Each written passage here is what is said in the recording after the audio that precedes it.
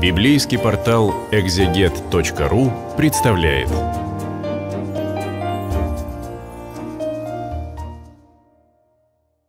На библейском портале «Экзегет» мы продолжаем с вами чтение книги «Премудрости Иисуса, сына Сирахова», 25 глава. «Воздав великую почесть премудрости Божией, воодушевив всех нас быть ее чадами, э, возвращается к роду человеческому наставник и вновь дает нам э, взглянуть на землю после созерцания неба. «Тремя я украсилась и стала прекрасную пред Господом и людьми». Речь о премудрости, которая э, уже явила перед нами красоту свою и еще больше пообещала ветхозаветному человеку, а теперь э, еще и представляет свои особые краски.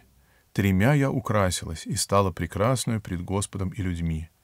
Это единомыслие между братьями и любовь между ближними, и жена и муж, согласно живущие между собою. Э, действительно, э, когда мы ищем примеры любви, то э, наиболее легко найти их в отношении матери или отца к детям своим. Еще больших усилий и э, редко, э, реже, чем э, естественная материнская любовь, можно встретить единомыслие между братьями, поскольку в самости своей свойственно людям не только друг с другом быть в разномыслии, но и даже с самими кровными э, своими братьями и сестрами оказываться в противоречиях и без единомыслия. Возможно, тогда единомыслие, когда э, воспитаны были в братьях ценности, превышающие всякие земные измерения. И тогда является вот это прекрасное украшение, проявление премудрости. И муж и жена, согласно живущие между собою, а тоже только э, на основании общих нравственных ценностей, общего идеала, общего воспринятого религиозного чувства, возможно, подлинное согласие живущих вместе мужа и жены. «И три рода людей возненавидела душа моя, и очень отвратительно для меня жизнь их, надменного нищего, ведь нищета, э, несомая со смирением, есть действительная красота, которую и Господь хвалит, лживого богача, извинителен лживый нищий, который ради пропитания э, э, на выдумку хитер. Но когда у человека достаток, а он остается э, лукав и бесчестен, то это вызывает отвращение и старика-прелюбодея, ослабевающего в рассудке. Чего не собрал ты в юности, как же можешь приобрести в старости твоей? Кому это слово? Упрек старости? Нет, это Э, ободрение юности, как и говорит наш русский писатель. Э, юноша, восходя от мягкотелой юности в зрелость, э, бери все благородные расположения души, все порывы высокие, не оставляй на дороге, не подымите потом. Страшна маячащая и мерещущаяся впереди старость, и ничего она не возвращает из потерянного, из тех благородных расположений, которые надлежало бы беречь с юности. Как прилично сединам судить и старцам уметь давать совет. Хорошо, если к старости ты действительно станешь чадом премудрости и соберешь ее, чтобы дать совет молодым, как ныне, говорит Иисус, сын Сирахов, я даю советы вам. Как прекрасна мудрость старцев, и как приличны людям почетным рассудительность и совет. Венец старцев — многосторонняя опытность и хвала их страх Господень. Сейчас часто спрашивают, покажите старцев. Где старцы? Как определить старца? И вот, как бы слыша наши вопросы из далекого прошлого, двухтысячелетней давности пророк э, говорит нам о э, признаках старчества. многосторонняя опытность, то есть не только житейская, но и духовная, и э, очень ясная характеристика пребывания в самом живом и глубоком страхе Господнем. Не все мысли, которые исполняют сердце мудрого, должны быть озвучены. А нечто есть тайны, о чем надлежит только молиться, потому следующий стих звучит таинственно. «Девять помышлений похвалил я в сердце, а десятое выскажу языком». Вот оказывается, э, сколько благого, что созерцает и понимает наставник, но высказывает не все. Почему так? Может быть, потому что мы еще не способны принять, или потому что у премудрости есть тоже постепенность в тех дарах, которые подает она человеку. Что же необходимо высказать сейчас, чтобы нам с вами сегодня это услышать? Это человек, радующийся о детях и при жизни видящий падение врагов. Только тогда, когда в семье будут заложены добрые основания для возрастания детей в вере и благочестии, тогда, возможно, и эта последующая радость и ублажает ее премудрый наставник.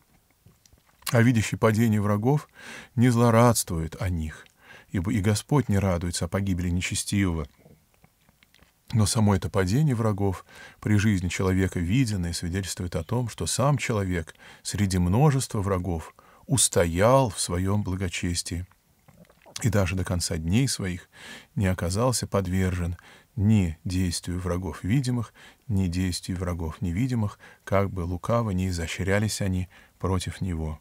Блажен, кто живет с женой разумную, кто не погрешает языком и не служит недостойному себя. Еще трехкратное исчисление благ. Жена разумная, сдерживание языка и служить бы рад прислуживаться тошно, отрицание, находиться в какой-то пирамиде злопыхателей, людей поврежденных, недостойных, несчастье быть в числе подчиненных таковым — Блажен, кто приобрел мудрость и передает ее в уши слышащих. Как велит, велик тот, кто нашел премудрость, и он не выше, но он не выше того, кто боится Господа. Эм, прекрасно расставляет акценты в жизни наш добрый наставник.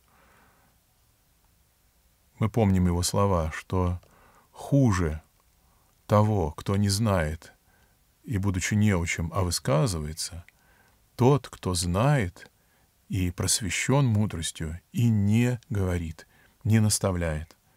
Потому не только приобретай мудрость, но приобретай и э, навык ее передавать в уши слышащих, а это требует уже определенного мастерства. Как велик тот, кто нашел премудрость, ублажает такового наставника, но при этом очень важный в премудрости не оторваться от главного источника всех благ, страха Господня. Потому и говорит в завершении этой фразы «Но он не выше того, кто боится Господа, то есть овладевшему премудростью надлежит смиряться пред Господом и сознавать ограниченность свою. Страх Господень все превосходит, и имеющий его с кем может быть сравнен риторический вопрос, э, который не требует ответа. Не с кем сравнить того, кто в страхе Божьем пребывает. В нем есть вся полнота ведения, необходимого и для совершения путей временной жизни, и для стяжания жизни вечной. Можно перенести всякую рану, только не рану сердечную, и всякую злость, только не злость женскую. Действительно, копье, э, брошенное в человека, может задеть его руку, ногу, может быть выдернутым даже из тела, но если поражено будет сердце, то человека уже не спасти. Так и злость женская способна погубить человека. Эта злость не только э, какое-то физическое мщение, которое может э, задумать женщина, одержимая духом ненависти. Но и та власть э, к соблазну, которая дана женщине, способна погубить любого. И в этом смысле злость женская в данном случае обозначает не только ярость, более это ярость и стремление сражаться даже до кровопролития присуще все-таки не женщинам, а мужчинам. А злостью женской называет премудрой эта способность, а иногда и неодержим, неудержимая страсть к соблазнению, тогда как именно она губит и тех, кто э, прежде думали о себе, что они твердо стоят. Всякое нападение — только не нападение от ненавидящих, и всякое мщение — только не мщение врагов. Нет головы ядовитее головы змеиной, и нет ярости сильнее ярости врага.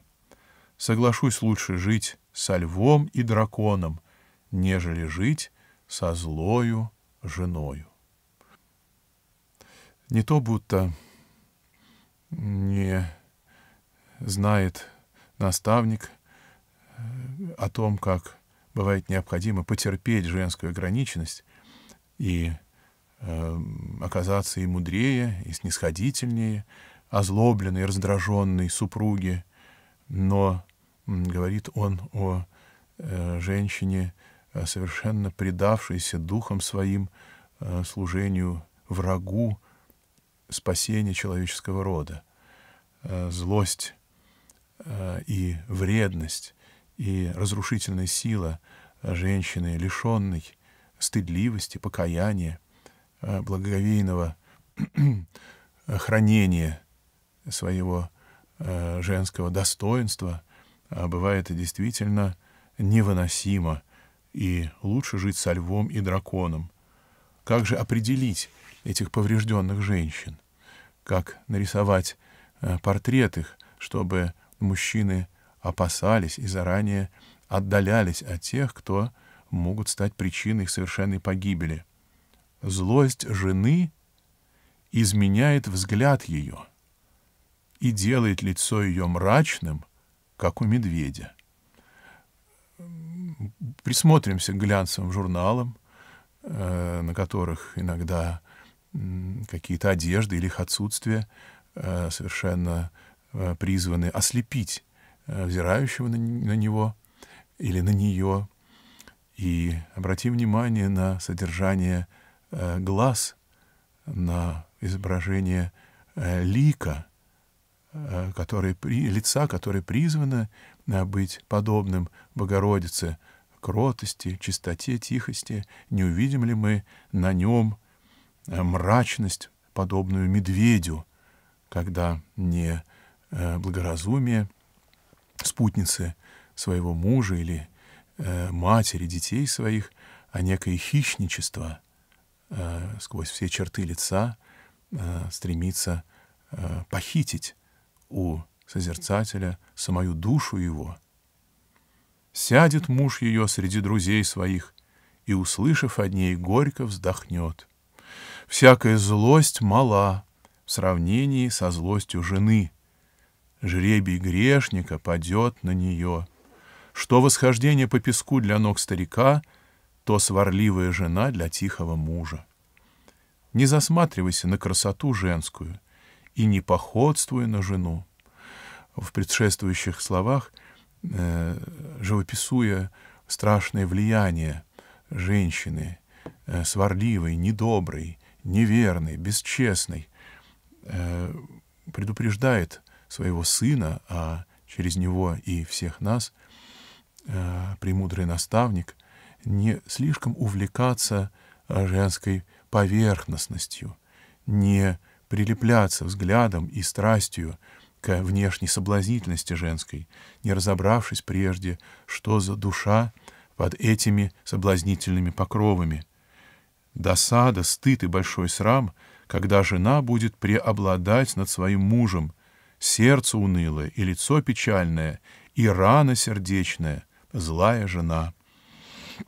Опущенные руки, расслабленные колени, жена, которая не счастливит своего мужа.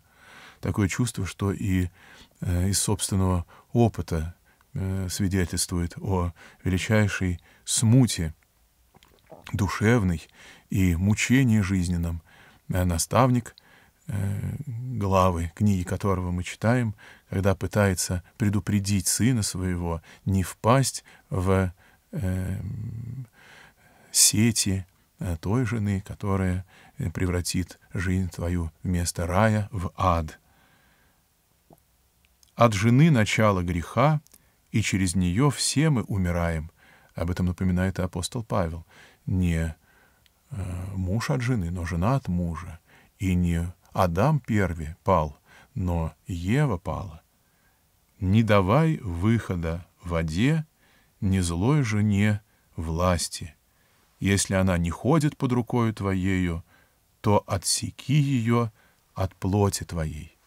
Рука твоя — это значит и власть мужа, это значит и та десница, которой правится жизнь наша.